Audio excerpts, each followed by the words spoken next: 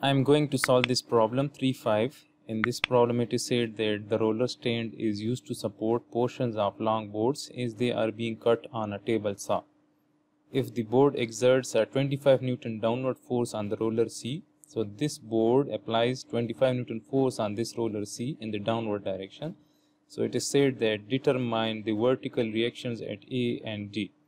So if if this is the force at this point C, let me try it.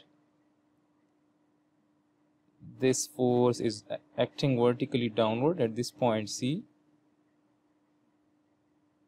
And the magnitude of this force is 25 newtons right? So it is said that find the vertical reactions at A and D right? So this will be the reactions at A and D. If I draw it here right? So the reaction will be in the opposite direction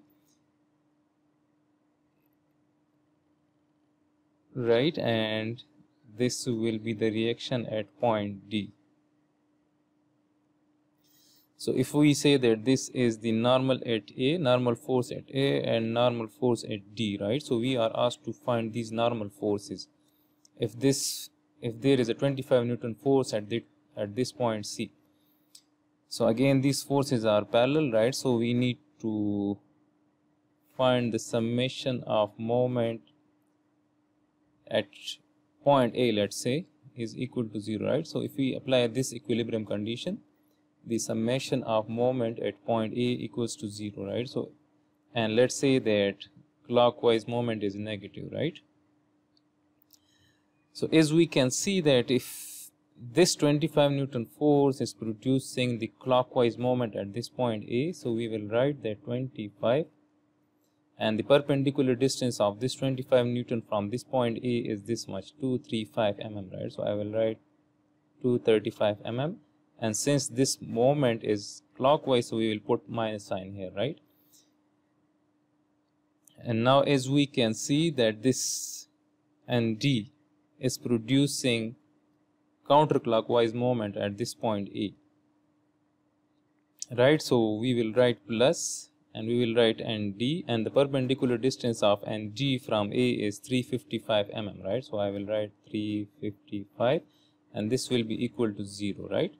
This NA will never produce the moment at this point since this vector is passing through this point right? The center of rotation.